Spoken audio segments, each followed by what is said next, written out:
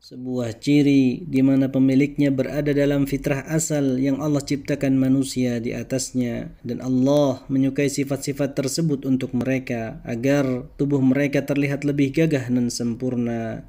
Nabi sallallahu alaihi wasallam pernah bersabda yang artinya lima perkara yang termasuk fitrah manusia yaitu khitan, mencukur bulu kemaluan, memotong kuku, mencabut bulu ketiak dan mencukur kumis. Oleh sebab itu, sifat-sifat fitrah manusia adalah yang pertama al-istihdad yang artinya mencukur bulu kemaluan dinamakan dengan al-istihdad karena prakteknya menggunakan alat dari besi seperti pisau cukur atau silet dan bisa dihilangkan tanpa harus dicukur seperti menggunakan perontok bulu buatan.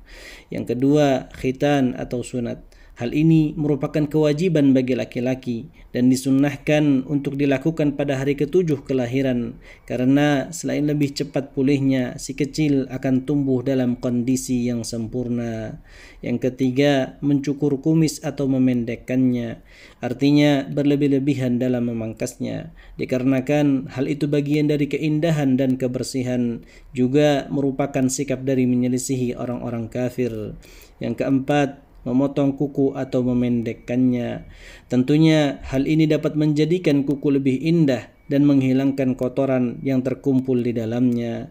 Yang kelima, mencabut bulu ketiak, yaitu menghilangkan bulu yang tumbuh pada ketiak dan disunnahkan untuk menghilangkannya dengan mencabut mencukur atau cara lainnya karena menghilangkannya merupakan bagian dari kebersihan dan dapat melenyapkan bau tidak sedap Kelima perkara di atas terdapat tambahan beberapa sifat berikut, yaitu membiarkan jenggot panjang, bersiwak, beristinsyak dengan air, berkumur-kumur, membasuh ruas-ruas jari, maksudnya lekukan yang ada di bagian punggung jari jemari yang sering menjadi tempat berkumpulnya kotoran, dan yang terakhir beristinja.